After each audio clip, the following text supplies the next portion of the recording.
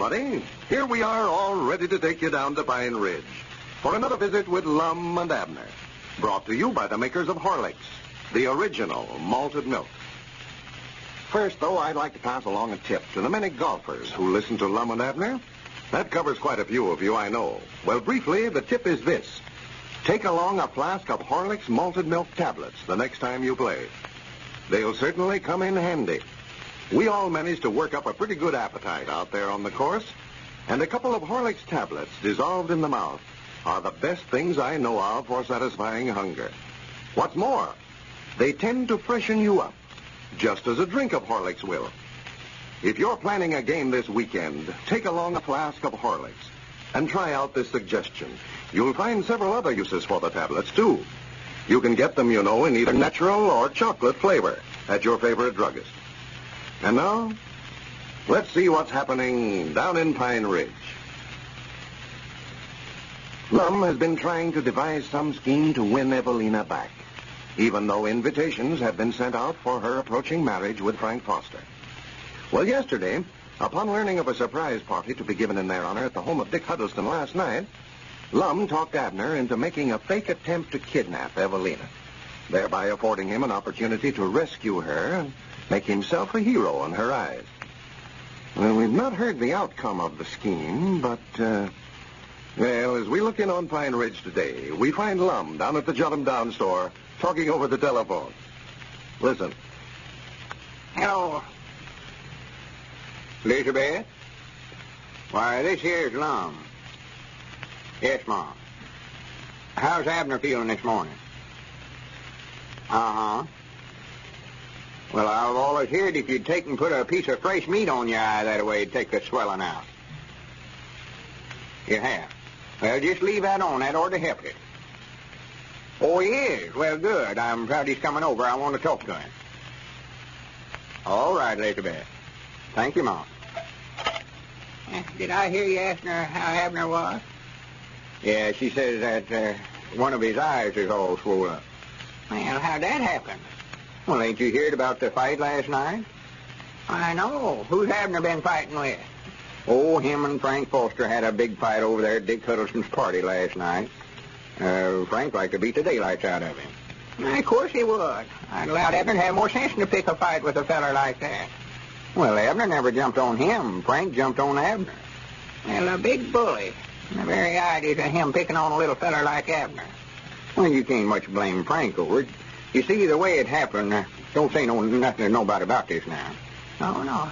Don't nobody know about it? Well, they don't know what started it.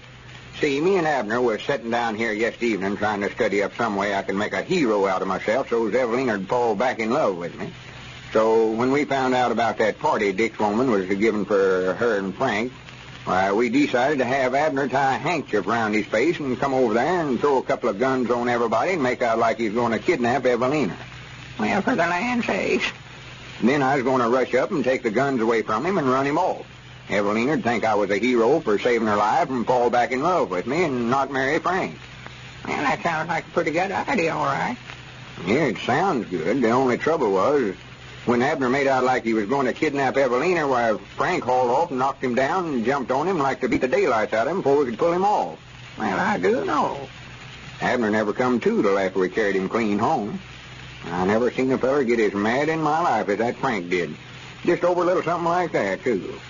Yeah, Frank never knowed it was Abner at the time, huh? Oh, no, no. He thought it was a sure enough hold-up.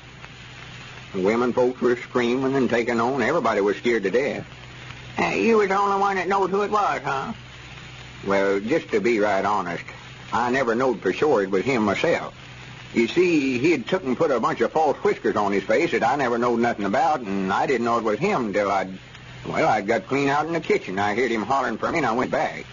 Now, what was you doing running for the kitchen if you thought Evelina was about to be kidnapped? Why, I figured he might try to get out the back way there, and I was going to be back there to try to head him off. Well, did they all think Abner sure enough aimed to kidnap Evelina? Oh, no. After it's all over and we'd carried Abner home, I got up and told them it was just a little prank Abner was pulling on Frank and Evelina to have a little fun out of them. I told them that Abner explained it all to me after he come to. I reckon Frank felt bad about it after he found out it was just a joke. Wait a minute. Here comes Dick Huddleston. Don't let on to him now that I know anything about it at all. I don't want him to know I had a thing to do with it. No, I won't say nothing. I don't blame you, though, since it never worked out so well. Well, Abner's the one that got things mixed up by putting on that disguise to where I never know who it was. Wait a minute.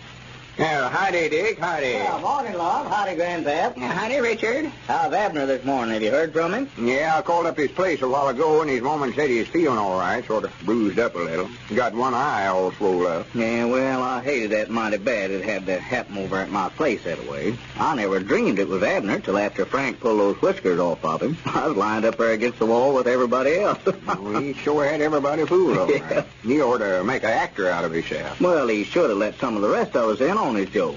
We could have kept Frank from jumping on him that way. Why, sure. There's where he made his mistake, right there. Well, it was right funny after it's all over with. Was funny to everybody but Abner. I don't think he enjoyed it very much. uh, why didn't you and Aunt Charity come over, Grandpap? We was looking for you. Well, we did aim to, Richard, aim to come, but directly after we cooked the net supper, uh, our daughter and her man drove over from Crystal Hill. They've got a new automobile. Yeah. Uh, they stayed till late, so we just couldn't get away. I'd love to been there. Yeah, we had a nice time. Nice fresh mints. That's about as good a chocolate cake as I ever had. Yeah, well, I was just sorry that Abner's joke didn't turn out so well.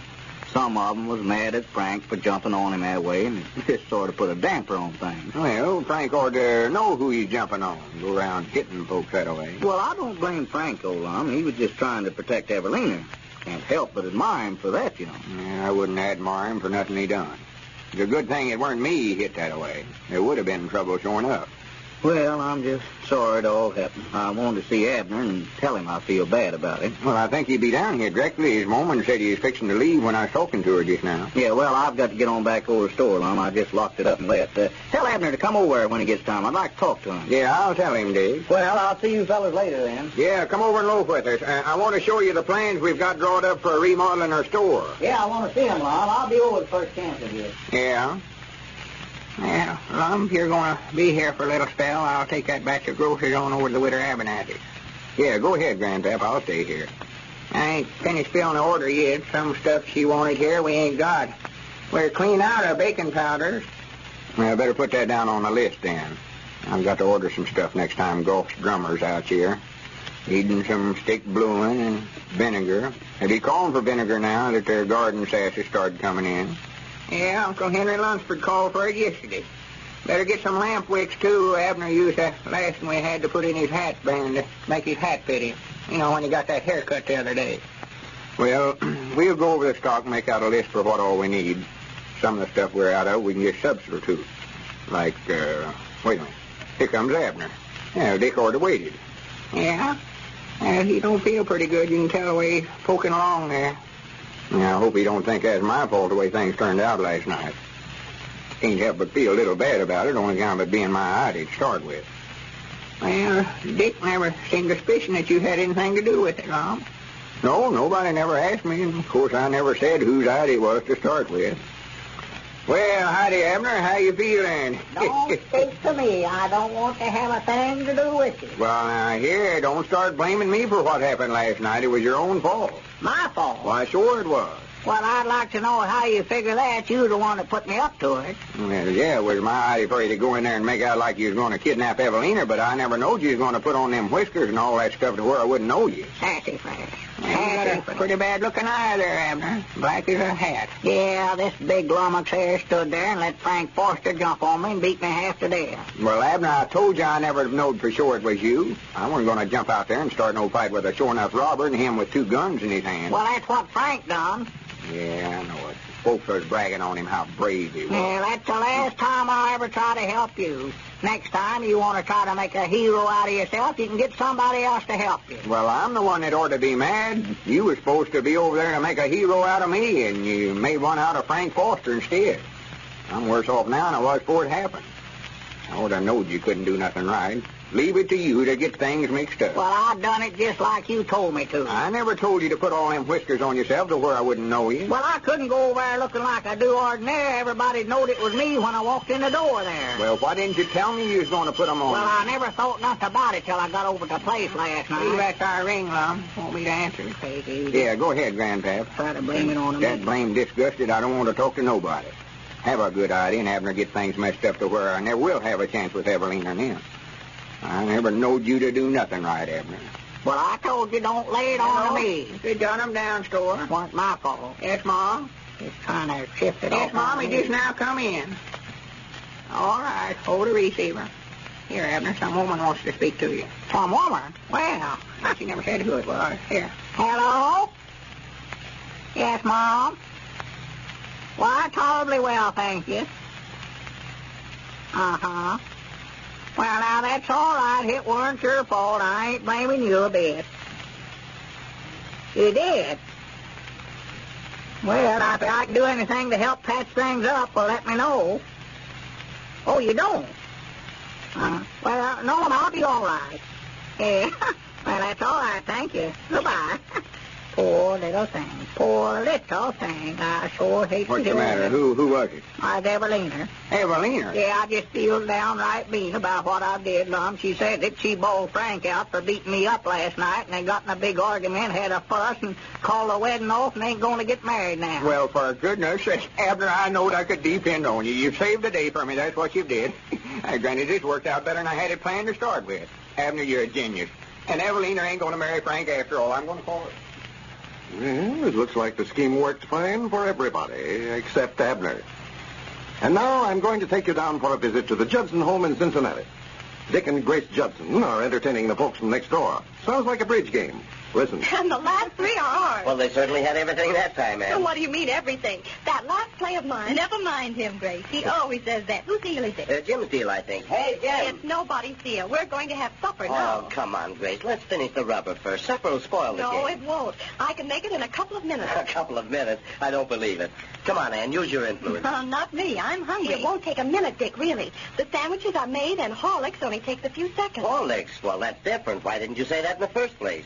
Well, quite a change all of a sudden. You seem to like Horlicks, Dick. Like it? I'll say I do. I can always use a glass of Horlicks. That's the one thing he never tires of, Ann. I don't know what I'd do without it. Don't you ever serve Horlicks? Well, we give it to the youngsters, of course. But for late supper, well, I guess I never thought of that. I'll have to try it sometime. You know Horlicks. Now, listen, you two. How about that supper? I thought we decided... All right. Come on, Ann. He won't be quiet until we get it. Clear the table, Dick, and get Jim in. We won't be long. And that, folks, is the way that many hostesses are solving refreshment problems. They simply serve Horlicks malted milk. Try it for your own guests. You can get Horlicks from your druggist in either natural or chocolate flavor.